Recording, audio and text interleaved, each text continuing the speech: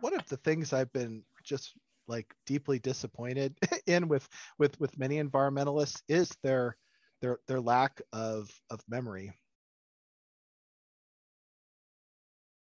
in language that's being used in different organizational workspaces or in like DEI type of movement areas, um, this idea of urgency as a like tool of white supremacy.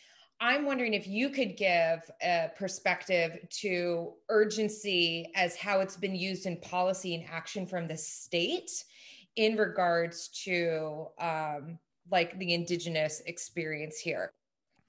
But the the thing about it is, I mean, I I have to hear, I mean, all the time, every day, testimonies. I read reports and analyses of indigenous people all over the world saying that when these privileged parties engage in wind power or solar power or other renewable energies, including hydropower, which is resurfaced as a solution to climate change, those technologies are having the same types of negative impacts that their their predecessors had.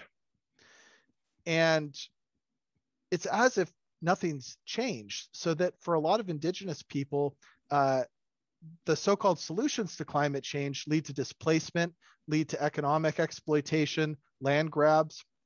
And so when I looked at a situation, I said, wow, people really don't remember the fact that every period of colonialism was premised, at least in part, in whole or in part, on the colonizers believing that there was a crisis, or maybe there was a crisis, but believing that they're taking advantage of other people as a solution to the crisis was morally acceptable to do.